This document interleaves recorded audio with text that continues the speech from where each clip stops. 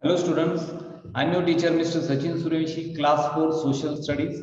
I welcome you all to Sant Tukaram National Model School. These are the online sessions, online videos prepared for the students, those who are watching, so they can see and they can learn from our YouTube channel. So let's start. We are learning here about the peninsular rivers. In that we have already seen the Narmada River and Tapi River, the two main west flowing rivers the videos of these two rivers it is already posted on the youtube. Now we are going to learn in today's session the base the very very important river of the peninsular india. It is the godavari river. It is the very it is very biggest river the, on the peninsular part of our india.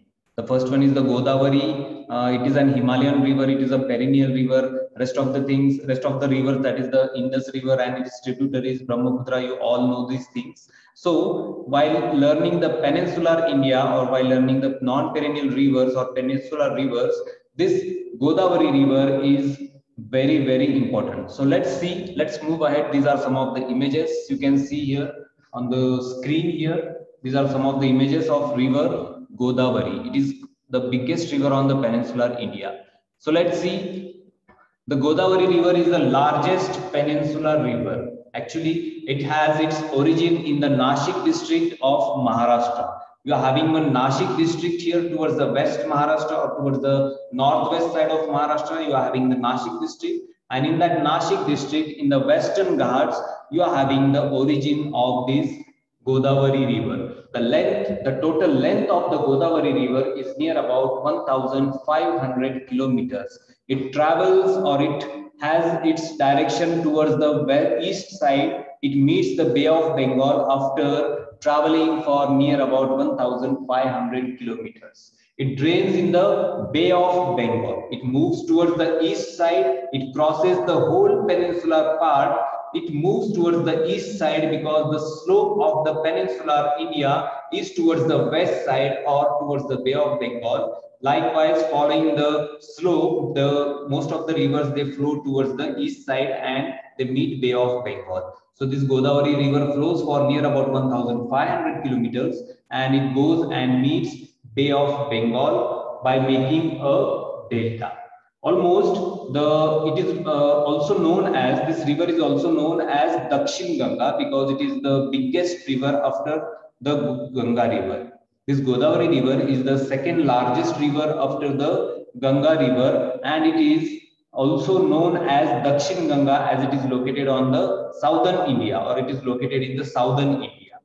Right. So the basin of Godavari river is located or is shared by Maharashtra, Madhya Pradesh, Chhattisgarh, Odisha, uh, Karnataka, few parts of Karnataka and Andhra Pradesh, Telangana. So all these states are coming under the basin of Godavari River. There are so many new, uh, tributaries of Godavari River which come and meet the tributary uh, main Ganga River from many states.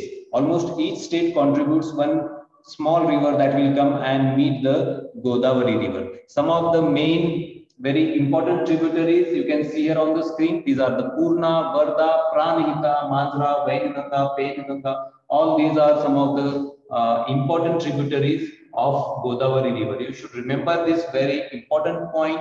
Which river is called as Dakshin Ganga? It is the Godavari river which is called as Dakshin Ganga because only about means because only the size of the river compels it to make it the name or give it the name Dakshin Ganga.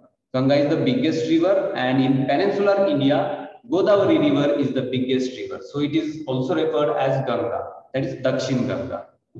So let's see one map here of Dakshin Ganga or the Godavari river. You can see here clearly the tributaries of Godavari river. This is the main Godavari river. It is getting originated from this Nashik the uh, Western Ghat area and from there it flows for a while and these are some of the very important tributaries just now we have seen that is this Pravara, Purna, all these tributaries they come and meet the Godavari river at several places and finally uh, we get a very big mighty Godavari river. Finally it flows for 1500 kilometers and it meets the Bay of Bengal but before going in the Bay of Bengal at the mouth of the river it also forms a big delta. This curve in the border of our India is due to the Godavari river only. It is a delta portion. It is a delta region at the mouth of the Godavari river.